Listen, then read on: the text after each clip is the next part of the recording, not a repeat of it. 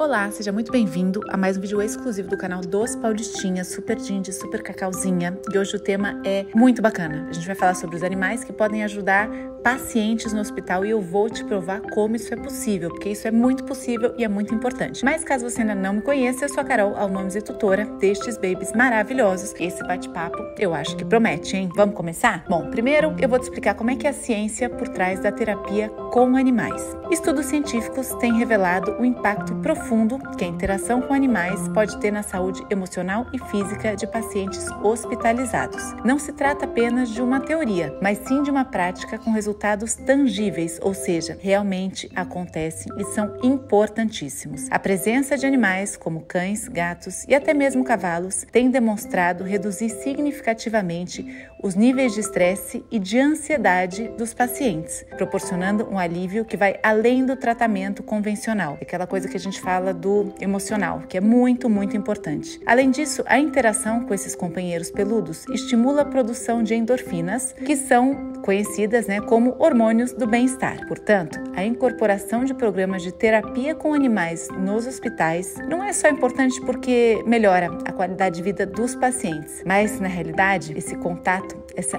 interação transforma a experiência hospitalar em um ambiente mais humano. Olha que coisa bacana.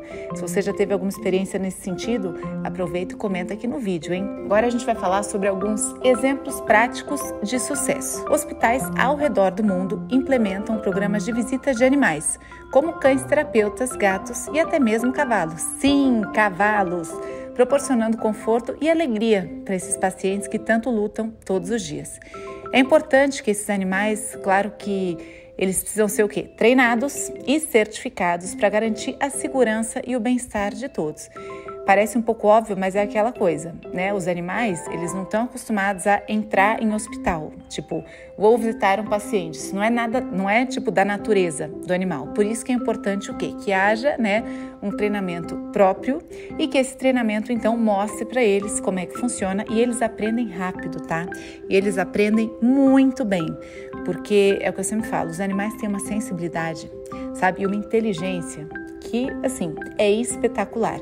Então, uma vez que eles sejam devidamente ensinados, é maravilhoso porque eles podem, né, é, trazer toda essa emoção, todo esse cuidado, toda essa sensação, toda essa experiência, tanto para quem está né, nesse desafio de hospital, ou seja, o próprio paciente, quanto para quem está acompanhando esse paciente.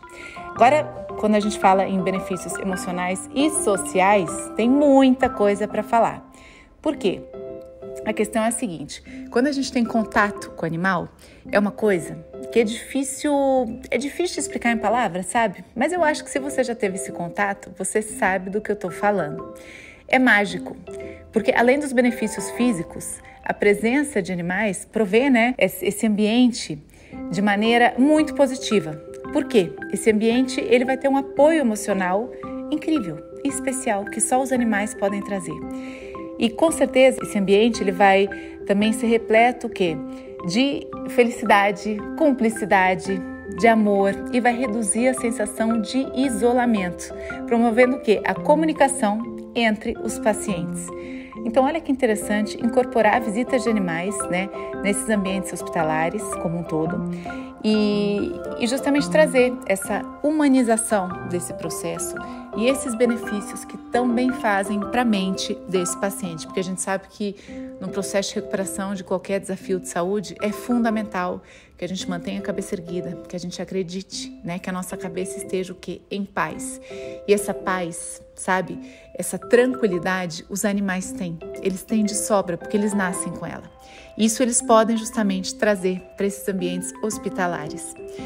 Agora falando em como apoiar e implementar esses programas. Você pode ajudar divulgando, né, a importância dessa terapia com animais você pode ser voluntário, por exemplo, nessas ocasiões e até mesmo fazer doações para essas organizações que apoiam esses programas, sabe? Porque muitas vezes essas organizações, na realidade, eu acho que assim, na maioria das vezes, elas dependem sim, né, de doações. Então, assim, converse em hospitais que você conheça, uh, com amigos, né, com familiares, procure na internet. Tem muita iniciativa do gênero e que certamente precisa assim, de apoio, tanto do ponto de vista de voluntariado, quanto do ponto de vista de é, doação, né, em espécie de dinheiro e da própria divulgação. Quando a gente divulga, a gente também está apoiando uma causa.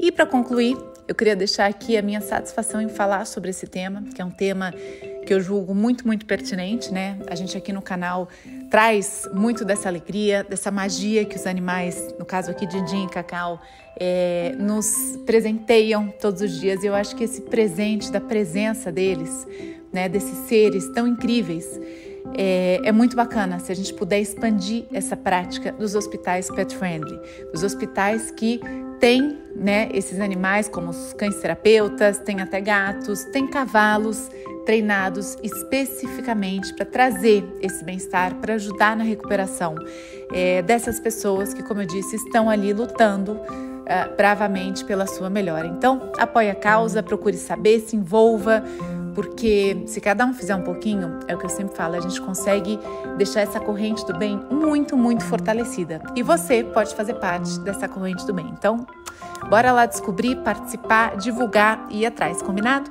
E lembrando que a gente também está no TikTok, também está no Instagram. Segue a gente nesses canais, por favor. E também estamos semanalmente aqui no YouTube. Então, esteja sempre conosco. Se você não viu os outros vídeos, dá uma espiada. Tem vídeo muito legal aqui. A gente tem justamente esse compromisso semanal com você aqui no nosso canal do YouTube, trazendo temas que agreguem valor no seu dia a dia e despertem sua curiosidade. Eventualmente, caso você não tenha ainda uma familiaridade com esses temas, a exemplo do tema de hoje. Eventualmente você não conhecia, ficou conhecendo e pode se envolver, não é isso? Então, um beijo para você, uma super semana e até a próxima!